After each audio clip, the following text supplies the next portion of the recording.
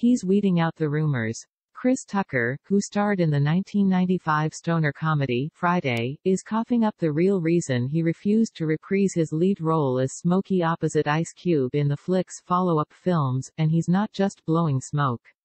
One of the reasons why I didn't do Friday sequel next Friday is because of the weed, Tucker, 50, explained during a guest appearance on movie podcast Flicks Talk Monday.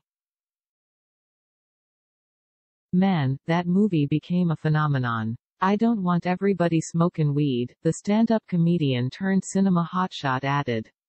I never really told people this because I kinda forgot about it, but it was one of the reasons why I didn't do it.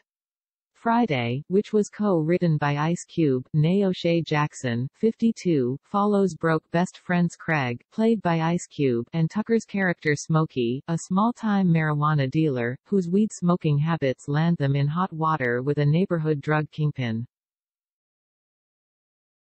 It's been widely speculated that Tucker passed on starring in the blockbuster hits continuations due to beef with Cube over money. But now, Tucker, who was replaced by comedian Mike Epps, 50, in sequels Next Friday and Friday After Next, has made it clear that the franchise's marijuana-driven storyline clashed with his moral compass. I said, I don't want to represent everyone smoking weed, he revealed. I kinda made it more personal than a movie, and that's one of the reasons I said, nah, I don't want to keep doing that character. Quote dot.